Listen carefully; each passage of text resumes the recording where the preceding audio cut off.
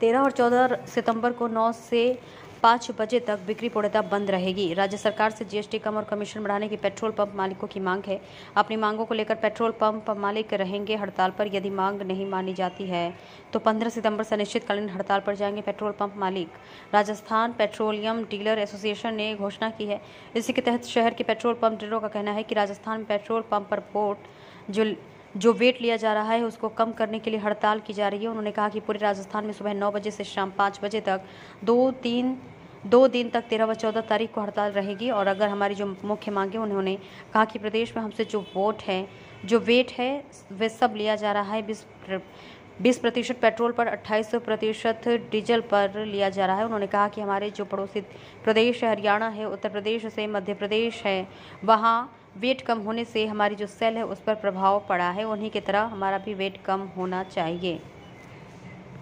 ऐसा है, हमारे जो राजस्थान पेट्रोलियम एसोसिएशन की ओर से घोषणा की गई है कि जो राजस्थान में जो सबसे ज़्यादा वैट लिया जा रहा है, उसको कम करने के लिए ये हड़ताल की जा रही है। और तेरह और सात, चौदह तारीख को हड़ताल है पूरे ही राजस्थान में।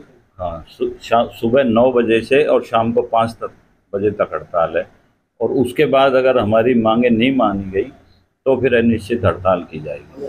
क्या मुख्य मांगे आपकी? इसकी मांगे ये हैं कि हमारे जो प्रदेश में हैं वो सबसे ज़्यादा वैट हमसे लिया जा रहा है। हमसे क्या लिया जा रहा है? कस्टमरों से लिया जा रहा है। तीस परसेंट पेट्रोल पे लिया जा रहा है अट्ठाईस परसेंट डीजल पे लिया जा रहा है जो पूरे देश में सबसे ज़्यादा वैट है मतलब।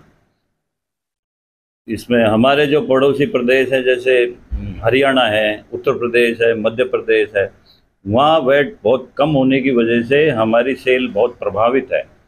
तो हमारी ये मांग है कि ये वेट को और स्टेटों के बराबर ही की जाए जिससे कि हमारी सेल की बढ़ोतरी हो। ये मुख्य मांग है। और दूसरा जो हमारे डीलर कमीशन है वो 2017 के बाद उसमें कोई संशोधन नहीं हुआ। भारत सरकार से हमारी मांग है कि उसको हमारा बढ़ाया जाए जिससे हमारे पंपों की स्थिति ठीक हो। क्या नाम आपका? मेरा नाम श्रीनिवास मीणा है। साहब फिलिंग स्टेशन का मैं डीलर हूँ।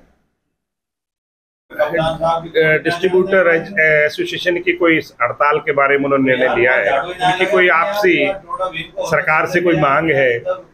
मैं तो उनके अध्यक्ष से और जो इस हड़ताल की व्यवस्था को देख रहे हैं उनसे विनम्र आग्रह करूँगा। कि जो बात चर्चा से समाधान हो जाए, उससे बड़ी कोई बात नहीं है।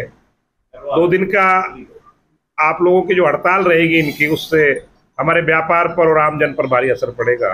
डीजल और पेट्रोल नहीं मिलेगा तो ट्रांसपोर्टेशन प्रेशर पड़ेगा। ट्रांसपोर्टेशन प्रेशर पड़ेगा, चीज़ें सही सके सही समय पर नहीं पहुँच पाएगी, जिससे आम उपभोक्ता को परेशानी होगी।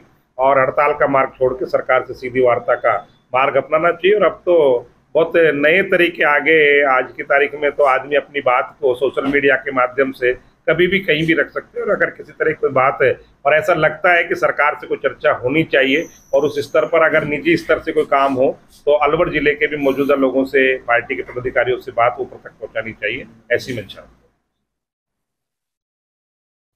पेट्रोल की हड़ताल के बारे में मेरे को कोई ज़्यादा जानकारी है नहीं। मैंने पेपर में पढ़ा था कि पेट्रोल डीलर एसोसिएशन कल तेरह और चौदह तारीख को कोई हड़ताल करने जा रही है।